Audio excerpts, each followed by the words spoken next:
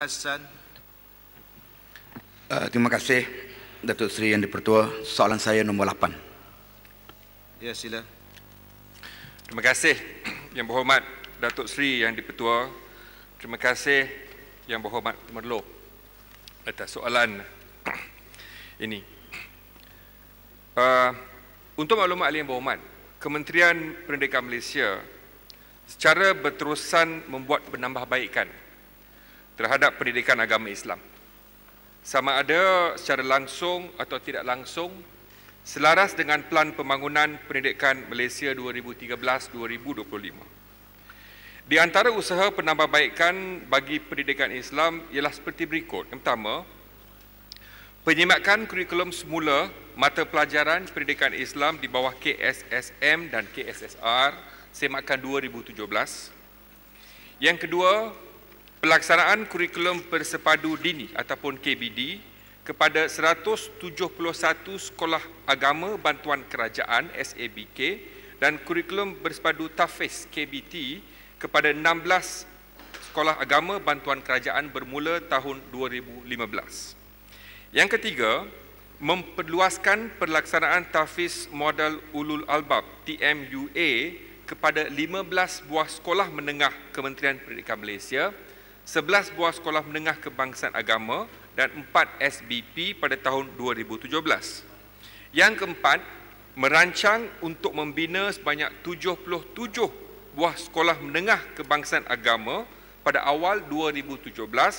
Sekolah menengah kebangsaan agama seluruh negara adalah sebanyak 59 buah buat masa sekarang. Selain sekolah menengah kebangsaan agama, Kementerian Pendidikan Malaysia sejak tahun 2005 telah melaksanakan pendaftaran sekolah agama negeri dan sekolah agama rakyat berdaftar sebagai sekolah agama bantuan kerajaan. Setakat Jun 2017, sebanyak 220 sekolah agama negeri, sekolah agama rakyat telah berdaftar sebagai SABK di seluruh negara iaitu 180 sekolah menengah dan 40 sekolah rendah. Yang keenam, pada awal tahun 2017, seramai 782 guru interim dini dan guru interim tahfiz telah ditempatkan di Sekolah Agama Kementerian Pendidikan Malaysia dan yang ketujuh, mulai tahun 2018, Kementerian Pendidikan Malaysia akan melaksanakan syahadah Al-Ulia Ulul Albab di Sekolah Agama Imtiaz Besut Terengganu dengan menggabung jalinkan tiga disiplin iaitu bidang sains, tahfiz dan turath untuk murid menengah atas terpilih di sekolah tersebut. Selain daripada itu, kurikulum pendidikan moral bagi murid bukan Islam juga disemak untuk memberi lebih tumpuan kepada pemahaman tentang nilai-nilai perpaduan dan hubungan baik sesama insan. Kementerian Pendidikan Malaysia telah membuat penambahbaikan secara bersepadu dalam tiga aspek iaitu aspek kurikulum, pedagogi dan bahan sokongan mata pelajaran pendidikan moral dengan lebih menitik beratkan elemen perpaduan.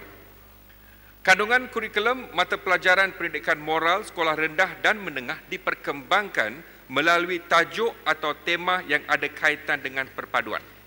Murid bukan saja boleh menguasai kandungan dan disiplin ilmu mata pelajaran berkaitan, tetapi murid juga diajar untuk memahami konstruk perpaduan serta menghayati dan mengamalkannya.